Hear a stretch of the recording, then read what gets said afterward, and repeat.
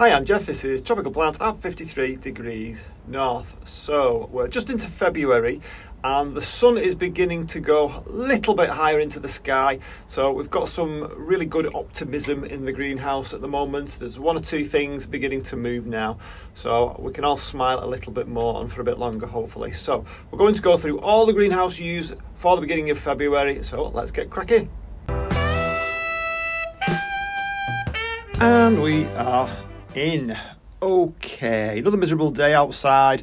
There's a tiny little bit of sun yesterday, but not for very long, for about an hour, and then it started to rain again as per usual.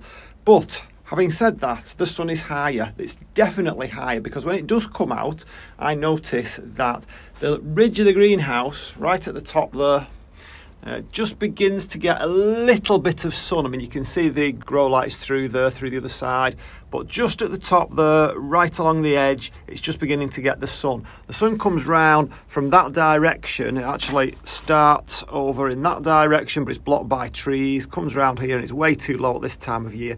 Uh, gets round here, but the houses and the garage next door are actually blocking it totally from the greenhouse. So it's only really at this time of year that I begin to get a little bit of sun. But when it does come out, what you do notice straight away is that even though under these grow lights it all seems really bright, it's really a comparison to outside because actually when the sun does hit the greenhouse those grow lights just completely vanish and disappear and you really begin to realize the difference in the sun. And when you do come out when the sun comes out uh, the intensity of light in here is so so much better than it is with the grow light and the plants really respond accordingly.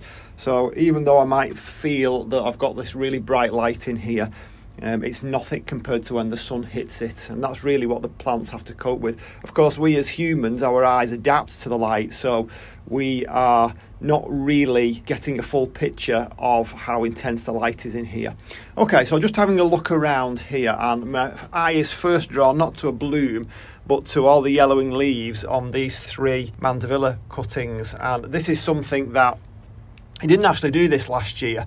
Uh, but they do lose leaves, and this is the time of year that they lose them. I have another one over in the other side, um, they're like a pink one, and that's lost practically all its leaves. But I'm not too worried because I feel that it will come back. I think again it's just the intensity of light, and you've got these nice new growths coming here. The the red one, the red Mandevilla on the other side, uh, Mandevilla Sanderi, just doesn't seem to. It does lose leaves, but not not to this extent. It doesn't lose a lot of them. So whether that's just a, particularly strong cultivar, I don't know. Notice the sap coming out there, the latex. Um, yes, it is poisonous. Yes, it will supposedly anyway irritate your skin. Uh, no, I don't find that it does bother mine uh, unduly. Now, whether that's because I'm out gardening quite a lot, I don't know. Perhaps I've got really rough hands. I like to think I have. it's a very manly thing. So, okay, what have we got? Begonia. So this is a Fuchsioides. It looks really nice as a bunch like that, and they're quite long lasting as well. But that's even losing quite a few of its leaves there. And talking about losing its leaves, I really did worry about this uh, Bougainvillea here. So this one is, it's not much to look at at the moment, Bougainvillea brasiliensis and it's lost every single leaf. And if you remember, and you probably won't, but last year I really panicked and thought it shouldn't be doing this, and I cut it right back to the base, right down here.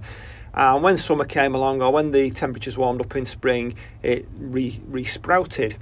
Um, and I made a couple of videos on it, and I was worried whether there was something in the soil or whether it caught something, and everybody gave me their opinions on it. And you know what? I think it's basically just having a rest. It just doesn't like. Um, and I'm thinking here, I'm thinking that it is the temperature of 12 degrees, and this is this is something that I'm thinking is a, a factor in quite a number of plants, like the Brugmansia, which I'll show you in a second. Um, when you actually look up Bougainvillea, even on the RHS website, it says that it's evergreen and it will keep its leaves all year round. And when I think about the Mediterranean, which does get temperatures like below 12 degrees, but I'm thinking that that is not permanent. Like for me, all through December, well, most of November, all through December, I've got temperatures of 12 degrees in this greenhouse because the temperature outside is lower. So I'm thinking that these cannot cope for uh, a, an extended length of time with temperatures at 12 degrees. And what they do is they drop all the leaves. And the really the way to check, of course, and you've probably seen this before. Oops, I'm just kicking plants on the floor there. Is just to do that with your nail, and you can see it's perfectly happy. It's certainly not dead. It's nice and green underneath there. So it's really basically just gone into like a forced dormancy. And I think it won't do that over in the Mediterranean. Perhaps if I've got any Mediterranean viewers, they can tell me. But I've never actually seen uh, a bougainvillea. I've not actually been to the Mediterranean at this time of year, but I don't believe I've seen a bougainvillea that's lost all its leaves uh, in the Mediterranean. I think they tend to keep them. Um, and of course, you're talking there, they tend to be much bigger plants with much bigger root systems. Um, but maybe it's just because those temperatures are not down to 12 degrees or lower for an extended length of time. They do get, even in December and January in the Med, you do tend to get the odd day where it's bright sunshine. In fact, not the odd day, many days where it's bright sunshine. The temperatures can easily reach 15. So maybe that's the issue. I don't know. And now I'm walking around. The problem is when when you're doing a video like this and you pick things up and then you're walking around with dead leaves in your hand so I shall just have to bin off these leaves and that'll free me up okay so you can see that the cyclamen are all looking really nice they're ready for a water again and I, how can I tell well I can see how they begin to flop a little bit some of these are in really small pots and uh, they're drying out very quickly it doesn't help that the uh, the fan is directly on them so yeah, we was talking about things losing the leaves. And the Brugmansia has lost practically every single leaf, but there are one or two little buds happening. It will come back. Oh, my spider's moved. You see that spider there? Let's see if I can zoom in on it. There it is. Just there. Feel really sorry for spiders in the greenhouse. This time of year, because it's all closed up, there's not much food around. I'm sure it'll survive because it won't be long before I'll have to get the vents back open and unfettered. There's a leaf. There we go. Um, this this particular plant, this Brugmansia, is a martyr to spider mite, not, not big spiders, spider mite when it's in leaf, when it's in the greenhouse. And I can spray it all alike, and that certainly does knock the spider mite back, but they still they still seem to return uh, within a matter of weeks. The only thing that really gets rid of the spider mite is when it goes outside that just completely solves the problem because obviously it's wet and very humid out there anyway. I mean, it's humid in here, it's 85% at the moment. So the Sotoanum still doing brilliantly well. It's really nice to get this kind of bloom at this time of year. This is much nicer than it looked last year. Uh, it only had a couple of spikes on it last year, so I'm quite pleased with that. And we solved the sooty mold problem. Uh, it was just basically well, it, it, was just too damp, it must have been. And since I sprayed it with a fungicide, that seems to have solved that problem. Great to see the pelargoniums coming into bloom. If you watch Mr. Pelargonium, David Taylor, um, he'll tell you to stop his uh, to stop your pelargoniums at this time of year. But obviously, he shows them. I don't show them. I'm quite happy to get blooms from pelargoniums at this time of year. And this is one of my favourite ones. This one, the Sarnside Fringed Aztec. This is an absolutely stunning bloom and I'm very, very happy to see it in bloom at this time of year. I've actually been round and fed them all. Um, they've, already been shaped, they've been cut back because, as we know, pelargoniums like to produce leaves and the more leaves they produce. So if you don't cut them back like November, December time, um, then they just get very leggy and they produce loads and loads of leaves and less blooms. So you really need to cut them back to this kind of size uh, make them nice and compact, and then you get blooms like that. I mean, this one's going over a bit now, but this is just, you think it was the middle of August. But it's great to have it this time of year because there's no lack of blooms when it comes round to the summer months. So we might as well make the most of them in January and February. This one, this Nepenthes, you can just begin to see the colours on the peristome there.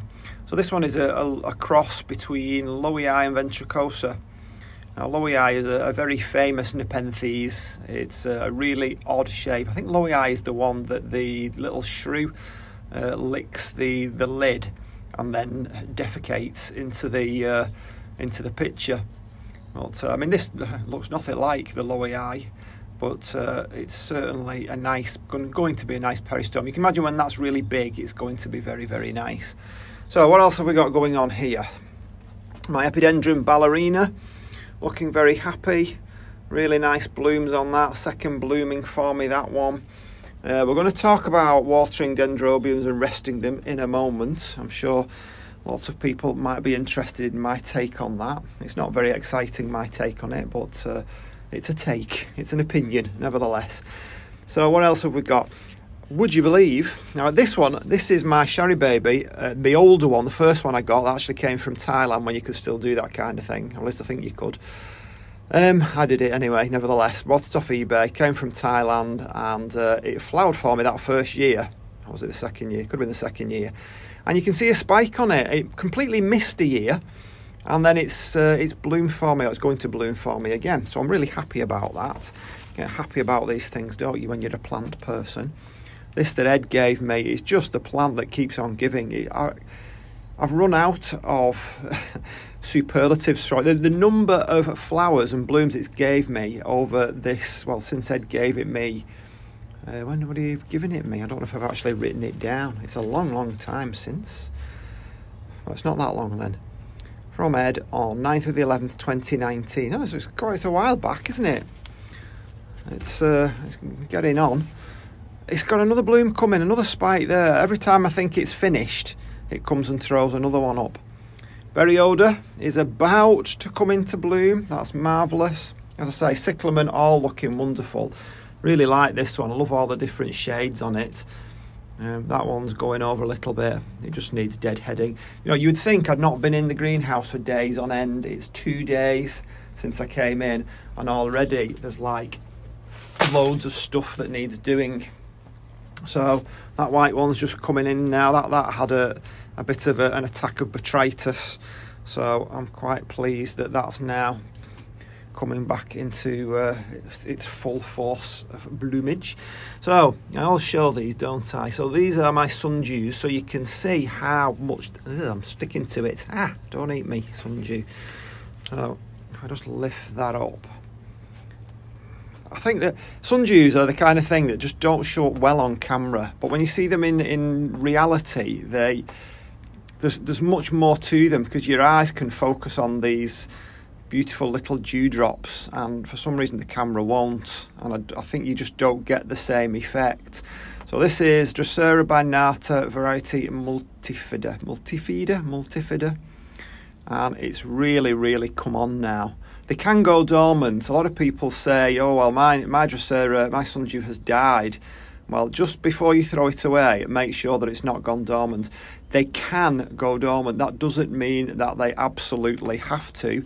And if you keep them at over 12 degrees or keep them a little bit warmer, then they won't go dormant. So that one has. This one's just beginning to get going now. That one down there I chopped off because it just started getting the uh, botrytis it should come back. So I suppose we'll find out, won't we, sooner or later. Um, so yeah, I've put some feed now in all the streptocarpus, so they're looking good. This one, so th- this is this is a, a, fern here. It's a Pteris cretica, and I nearly threw it out. I tried it in all sorts of different positions, and it just wasn't happy until I chucked it under the bench with the intention of throwing it out. Would you believe? That's what it wants to be. It wants to be under the bench in the dark. So if anyone has one of those, that's the kind of conditions it likes. It's not Cretica, it's Ensiformis, Pteris Ensiformis. Beg your pudding. I can't remember the name of every plant. Yeah, so Pleurothallis, still doing all right. It's not brilliant, but I, I think it's one of those plants that you just need uh, a great big specimen to have anything interesting to look at. It has bloomed, if you can call it a bloom. I think it's that one of those plants I love to hate, but I still can't throw it out for whatever reason. I can't throw it out. So my Dracula. So come on, Dracula people, tell me, is this a spike or is it not a spike? I think that's a spike. I'm just looking at the top there. Can you follow it there? Right from the base. Um, it just comes sticking straight out. It's a spike, isn't it? Now, uh, it doesn't mean to say that it won't blast for me. I know what these things are like, they're a little bit temperamental.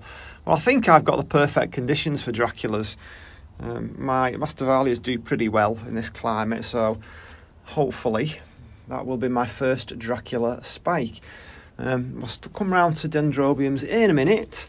Actually, this is a dendrobium. So this is Farmer Farmeri, but it is. It had a couple of new growths on it when I bought it, but they seem to be rotting off for whatever reason. Um, I can't remember whether it's winter resting one or whatever. So yeah, we'll talk about the winter resting ones, the ones that I know that should winter rest.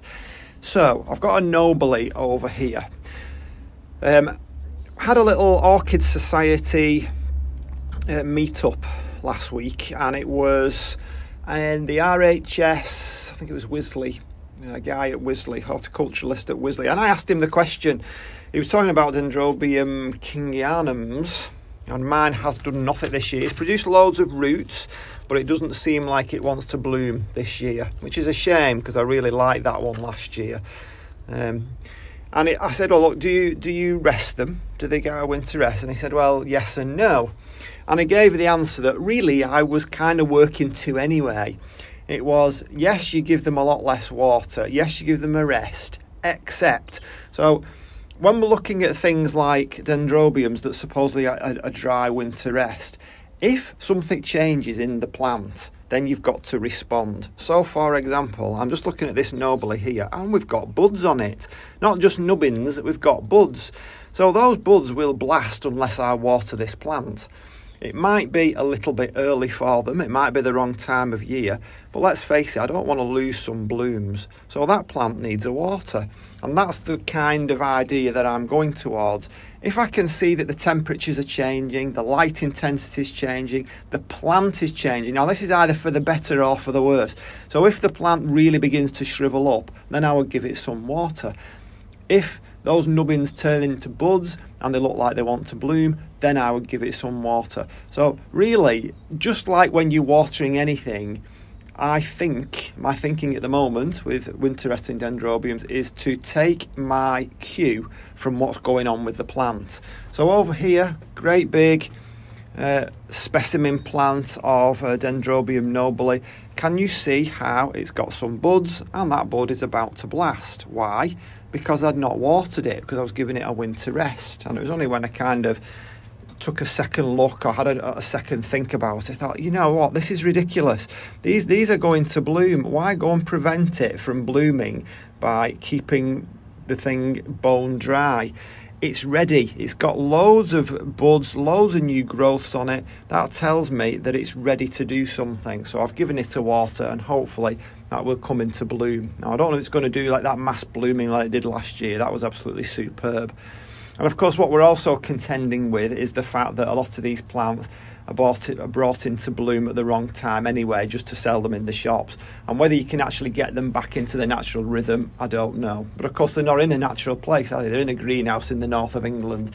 So really, I'm not bothered. As long as they bloom and they keep blooming regularly, that's really all I care about. I don't care whether it's the right time of year or not. So all my dendrobiums that are meant to get a winter rest, I've given them a really dry spell I'm going to keep a close eye on them, and if anything happens to them, then I'm going to respond. Uh, for example, and this is a another couple that I did a video on. So these ones. So this one is, and I can't remember. I've not looked at it for that long. The Densiflorum, and what was the other one?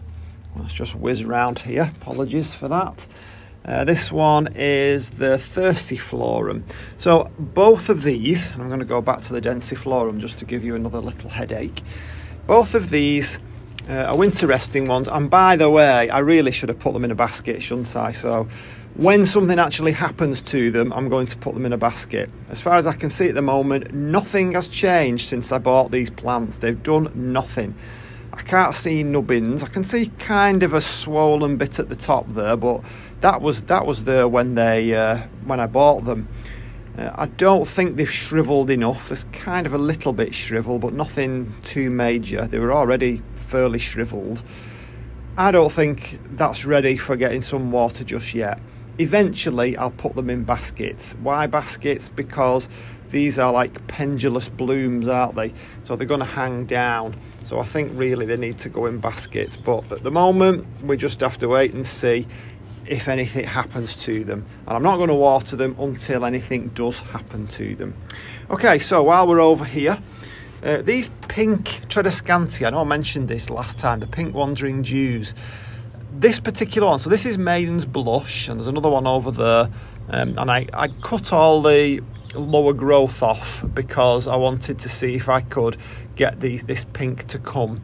I've since found a really, really good resource. I think I mentioned it last time. And but it was it's from a grower in the US, and uh, I think they're like a seller of these things. And basically, what happens with the pinker varieties, or this particular, not the Nanouk Lilac, we're talking about Maiden's Blush, Blushing Bride, I think it's Tradescantia fluminensis, plus those, those names. Oh, look at that there, see. I wonder if that could be food for my fly. Can you see? Food for my fly. Food for my spider friend there. Or it might be food for one of the fly traps. So you do get uh, I do get flies in at this time of year. Perhaps it's snuck in when I got when I opened the doors. So yeah, these particular ones, these fluminensis that have this pink on the tip, they only do that once a year. And according to this resource, I don't know how right this is. I have no reason to assume it's incorrect, seeing as that they are a, a grower and a seller. This is caused by a virus, and it only comes into uh, action once every year. So for the rest of the year, the plant is green. It's like a glossy green like this. Um, now that might, for you, might make it into a plant that you don't really want. But when it does come nice and pink like that, it looks really nice. So rather than cut off all the green bits, you just leave it. You leave it to grow and then at certain time of the year it'll come pink. Now apparently it needs the cooler temperatures to do that. The one that I've got in the warmer side because I was experimenting has gone pink despite the fact that it's kept at 17 18 degrees, but I don't think it's as good a pink as what we've got there. So yeah, that's that. Uh, anybody who's a banana favourite, favourite of bananas? So this is actually the false banana, the Abyssinian banana, and I've hardly watered this. In fact, I practically give it nothing at all for at least a month and a half, just a little trickle. And it's been absolutely fine, not worried, and it's brought a nice new leaf out. So that knows that spring is coming. Okay, so where are we? So these Dendrobium cuthbertsonii are still looking really nice. They they have been losing a few leaves, going a little bit yellow. I'm not sure whether I'm doing something wrong there. I'm being very careful to make sure that this does dry out um, briefly anyway, and then it can be ready for another water. Oh, Mr. Spider, I'm going to have to destroy your home there to give that a water. Um, still looking nice still looking beautiful. And by the way, if you caught the one on Twinkle Cinnamon, I did actually cut the blooms off. Uh, I don't know what the heck I've done with the plant. It's around somewhere. Um, it's over in its coconut husks over here. Still looking the same. I don't think it's got any new roots as of yet, but I wouldn't expect it because it was only a week ago. It's not dead though, is it? Not yet. Not yet. So, where were we? Yeah, so um, let's move along. So I would. Uh, no, here we go. Sorry, I don't know what I'm talking about. So this is this is my other sundew looking good. Uh, we've got the one bloom there on the snowbird. That's got some new growth coming down there, so that's okay since it's repot. I'm quite happy about that. Let's put on loads of leaves. This is the Masdevallia ignea, but so far, and I noticed mix one of mixed Masdevallias is blooming now. But so far there are no bloom spikes on that. Now because it's putting so many leaves on I would expect they will come at some point. It had a brilliant blooming last year. So that was the cyclamen that had the tarsonemid mite. Unfortunately after spraying it we've got some mutations you can see there. Um, I could cut them off at some point but let's let let it get into bloom first before I do. That's just what happens. There's there's no way around that I don't think unless you go the organic route, and I don't think that will get rid of tarsonemid mite. Curly Fire Flush, Begonia Curly Fire, Fire Flush, looking great, looking great. Some of these begonias don't seem to mind going down to these temperatures. We'll have a talk about some of the ones at the other side in a minute. And my very first Streptocarpus in bloom, so this is Bethan, looking absolutely beautiful. Really nice to get this into bloom now. Notice how the streptocarpus i've got all the nice green leaves again because they were looking really sad weren't they last year at the end of last year with all the kind of yellowing leaves. Um, yeah this one is solimutata begonia solimutata doesn't seem to mind. We've just got the one kind of browning leaf but the rest of it we've got new growth there. It's quite happy at 12 the eyelash begonia, begonia boweri, is in bloom, if you can call those blooms. Uh, I may well cut them off. I'll just have a little look at them for a bit because they are quite hairy and fuzzy. I like fuzzy things. Okay, my sundews, not sundews, my pinguiculars. So this was based on uh, a tip from Matt Soper from Hants Fly Traps. Use one of these. He says that they don't really like to sit in water, and actually they look a lot healthier now that I've took them out of the water and put them on one of these. I know that one's looking a bit pathetic. You can see the old rosettes died off, and we've got some new ones coming. This one is going to bloom. That'll be nice. I want to see some big plants on these. This is one of the bigger uh, bigger leaved pinguiculas. So this is Guatemala. That one is Cross Wessa. Um, I went for the bigger ones because they're not much to look at otherwise. Okay, so everything I think that we need to discuss we have already discussed in this side of the greenhouse. Let me just check before we move on. Now I think we're done here, so let's move through to the warm side because there's a little bit more going on in the warmer side. Oh, just before we do, notice this phlebodium. Look at all the new fronds coming on that now. Tons of new growth coming on that. And it, even though I know phlebodiums grow in Florida in hot, dry places and grow off trees and they like it really warm, for some reason mine didn't seem to appreciate the sun at the end of last year. I mean, don't forget, it's through glass, and through even though it's shaded, through glass is a completely different beast to when it's out in the open and it's got all the, the ventilation and the shade. And I don't know, for whatever reason, anyway, they they really went south right towards the end of last year. And I've cut a lot of the blackening fronds off, but since we've been in winter, they've been really coming on again. New fronds everywhere, and of course, I'm still feeding them. Um, I did. I was told by Laura, I think it was, that they really, really appreciate a good feed. And Laura knows what she's talking about. Listen to her.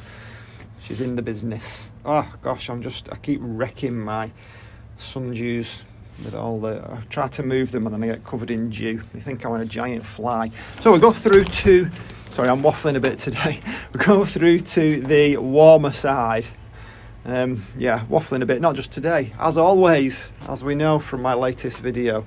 So, there are things happening over here, wonderful things, marvellous things. First thing to look at look at the size of that hippeastrum. It is a big one, I know, and I've kept it fed and I've, it's, uh, it's in a nice big pot. But that is, I think every, every year I think this is probably the biggest it's ever been, but it is really big. And over here, the smaller, this is Papio, Papio, I think.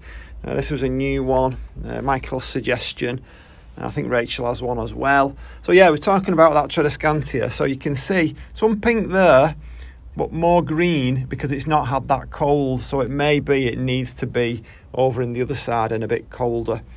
Um, I, yeah, we've talked about this loads of times, um, but that's coming back. Look at the new growth. So basically, the only problem with that was that I wasn't watering it, and it needs another water now. I've not been in the greenhouse for a few days, believe it or not, since weekend. And uh, what are we doing? What are we? Thursday now, so things are beginning to need a little bit of attention. This is doing really well, this uh, Elizabeth Ann Buckleberry, since I moved it into this position and tried to keep it wet. It's chucking leaves up all over the place, so that's got to bloom this year. Absolutely got to. Right, we're going to talk about Burrageara Nelly Isler or Oncidopsis Nelly Isler. This is Swiss Beauty. So, I have a bone to pick with Michael, if he's watching. So, anyway, this this was over in the cool side, okay, 12 degrees last year. Now, when it got to very early March, we had a week of uh, sunshine and I didn't have the shade up. Now, my problem at the time, or my thoughts were that it was going south, as you can see it is now. Look at all that growth, all that greenery that's now turning into brownery. We don't say that, do we? Brownery, greenery, brownery uh, deadery. It's, going dead.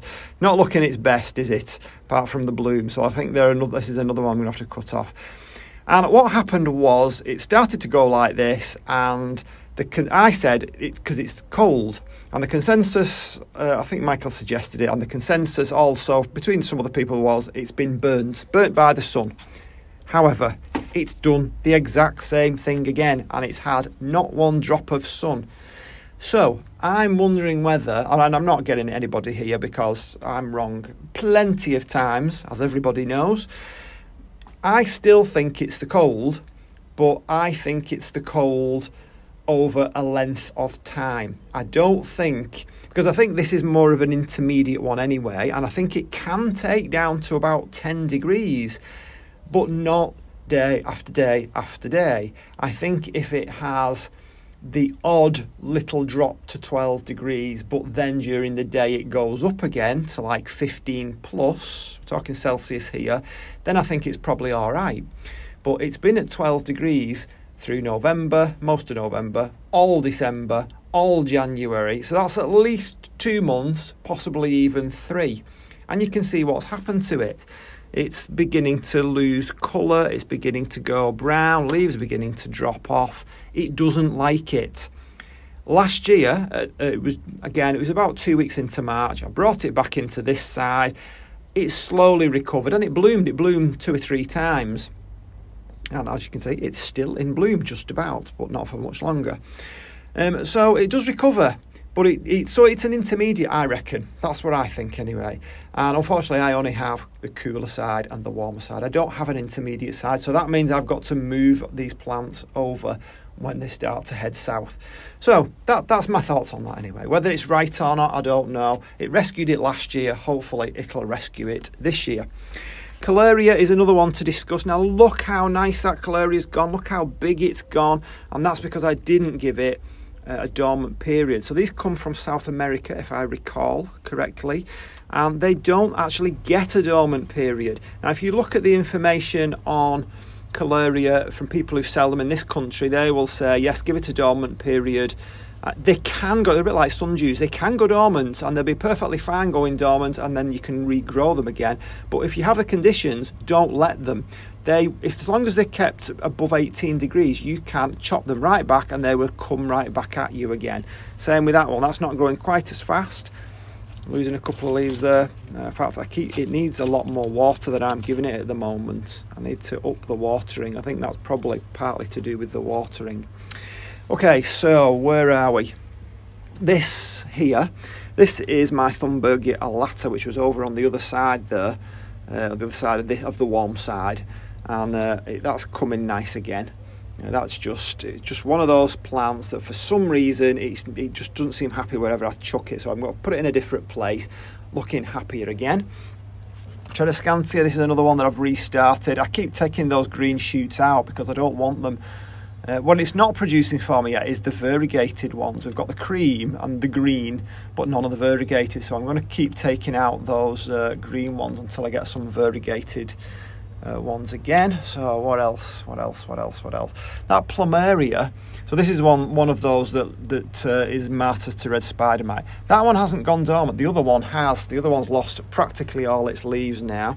I've moved the Hoya into the corner because it never blooms for me. Now look at this. So this is my Rebecca Soper. Look at this huge pitcher. That's the biggest pitcher I've ever had on an Nepenthes. Now I know other people can get them much bigger than this, but that's the biggest I've had. Big, nice flared peristome at the top there.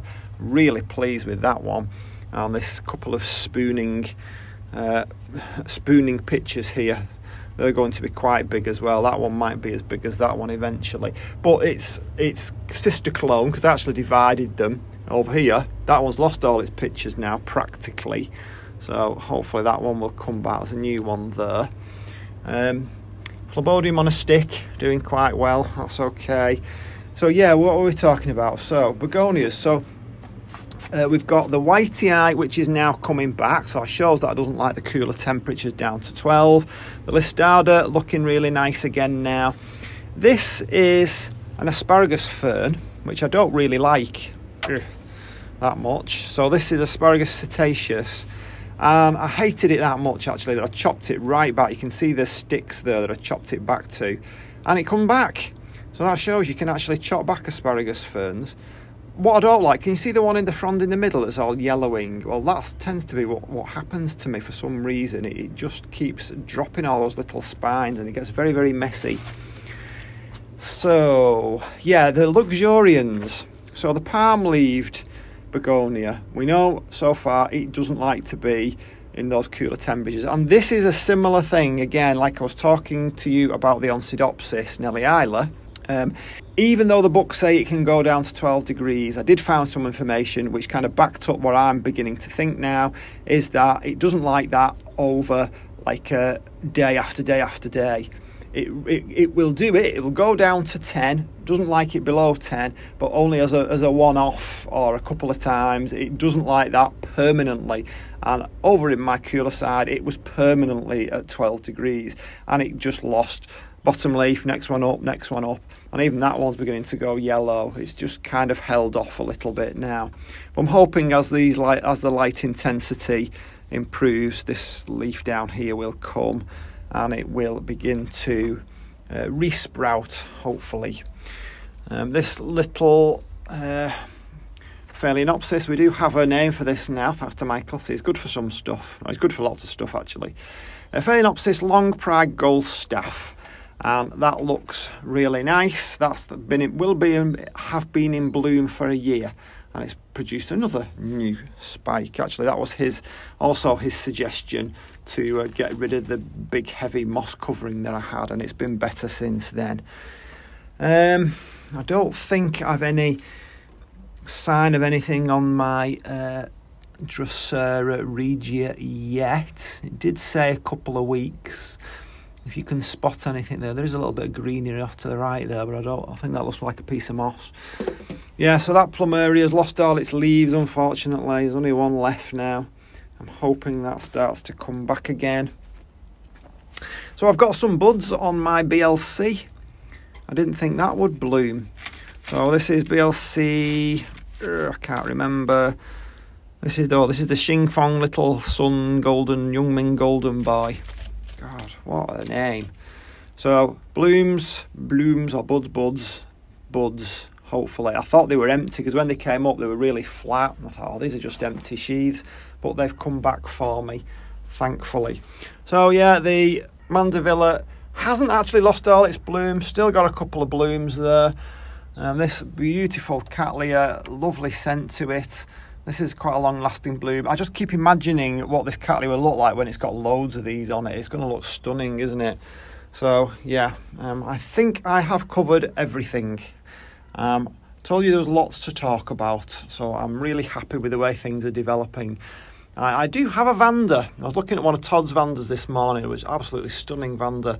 And I've only ever bought one, and all it does is produce roots. It's still not yet, and this is probably into the third year now, still not yet produced a bloom for me. And if I can get a bloom on this, then I'll probably be a little bit more inclined to get another one. Um, I certainly like that. The one that he showed me this morning was the best Vanda I've ever seen. It was the most gorgeous Vanda um, over on his channel there. So I think that is your lot. You might have noticed, those of you who keep up to date with these things, that there is a gap there well, there's not. I've put something else in its place. I had my Miltoniopsis over there, and I had an intention of showing it on the uh, the Orchid Society Zoom call thing, but uh, I never got around to it. So it's actually in the kitchen, but it looks brilliant in the kitchen at the moment with its four, five flower spikes. And that's the other Miltoniopsis that I had that I bought like towards the end of last year, and uh, I'm still jury's still out whether I can keep that one going and make that one thrive let's hope that I can. So that is all the news that's going on at the moment, and as you can see, things change very rapidly at this time of year. Few days and something's changed or something needs doing. It's a it's a constant source of uh, like drain on my time, but it's also a constant joy um, to, to be able to come in here and see. And I can't spend as much time as I really would like because I've other things going on as well, not least of which is editing all these flipping videos that I make. Uh, but that you know that's my own fault. I do that as well for for other reasons. But it's great to be able to come in here and see greenery, to see bloom, to see growth, to see new life. Because to me, that's what growing plants is all about. And it's uh, uh, like I say, it's a constant source of joy especially in these lockdown times. We've been locked down now for several months, well, several months. It's for us in, in my part of the country. We we've been at like the highest tier for at least eight months, but the the full country has been in lockdown since the beginning of January. And it's just the worst time of year, isn't it? The last one that we had, or one that we had in summer, was great when it was all nice sunny weather well, not great, but you know what I mean. It was better because you could get outside. But at this time of year, it's just horrendous. It's constantly wet. It's constantly miserable and dull. And to come in here just takes your mind off it for a little bit. So I definitely recommend it. But of course, I'm preaching to the converted, aren't I?